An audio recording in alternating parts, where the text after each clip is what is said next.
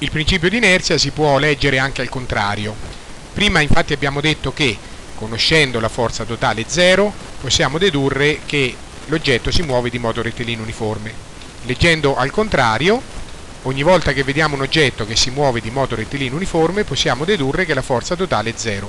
Per esempio se noi vediamo questo carrello che cammina alla velocità costante di un metro al secondo, deduciamo che la forza con cui noi lo stiamo tirando, 10 Newton, è uguale alla forza d'attrito dinamico. Questo perché se la velocità è costante, allora deve essere zero la forza totale, quindi queste due forze orizzontali si devono annullare.